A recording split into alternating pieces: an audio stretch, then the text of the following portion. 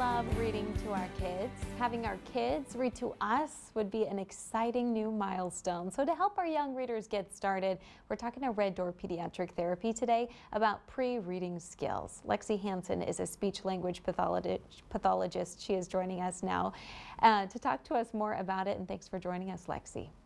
Good morning. Okay, so pre-reading skills, tell us what that is. Yeah, um, pre-reading skills are also referred to as phonological awareness. It includes awareness of the sound structure of words, so the rules of the sounds and the ability to manipulate sounds and words. Um, the skill is highly correl- correlated to reading. Okay, this is an exciting kind of time of um, of development for us at our household because this is exactly what we're working on. So I'm going to be paying close attention um, to all of your discussion here today, but we want to talk about what are some of the benefits from these phonological activities we can do with our kids.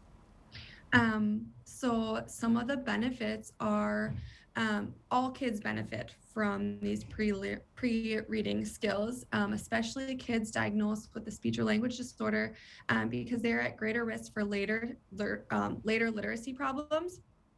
Um, you can start teaching these skills as early as three years old.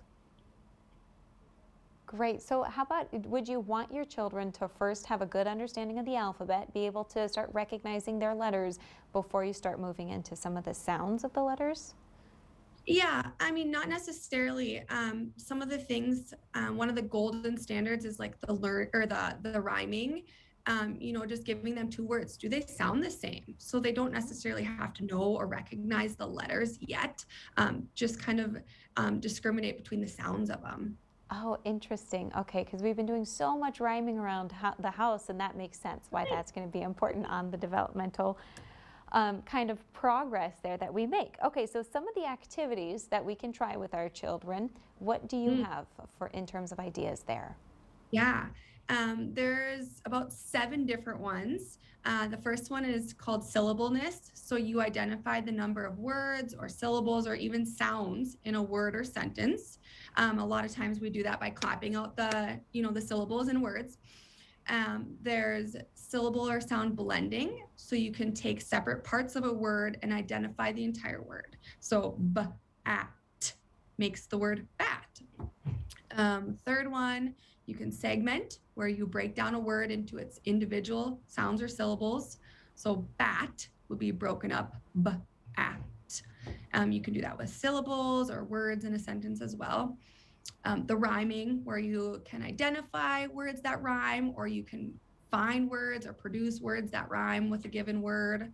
Um, there's sound discrimination, so you determine whether two sounds sound the same or they're different and the sound position where you can figure out where a sound is in a word. This one is fun for kids, um, kind of like I spy. Where's the k in cat? Is that the beginning, the middle, or the end? And then the last one, there's letter sound association where you match the letters with their sounds. So the letter B says ba.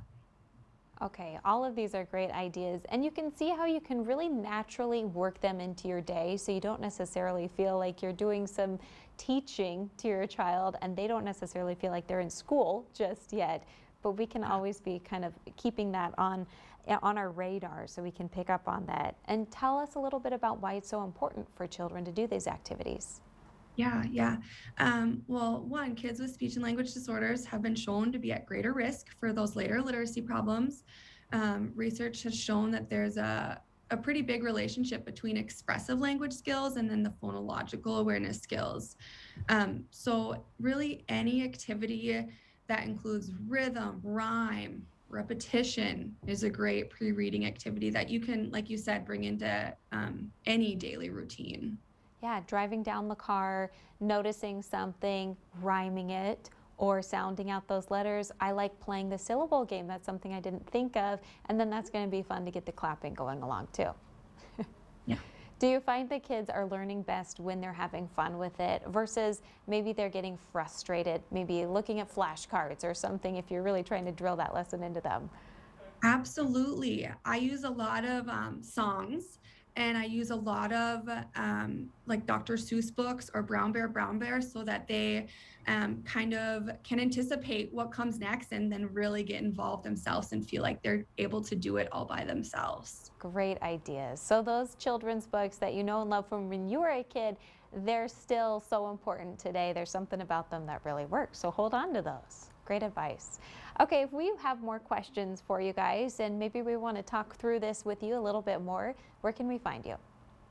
We have locations in Minot, Bismarck, Grand Forks, and Beulah. We have a main line of 701 222 3175. Excellent. And so, uh, once again, I'll just go over it again.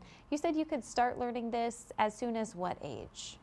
As soon as three years old, depending on you know um, the level of your kid's understanding or participation in those tasks. Okay, good to know because every child is different. They all progress differently, and it doesn't mean they're necessarily better at one thing, and maybe they just are on their own time with it. Okay, good to know. Lexi Hanson, thank you so much for joining us in Minot. We appreciate it. We'll see you Thank next you. time. Thank you. Bye. We're taking a break on North Dakota Today. Stay with us for more.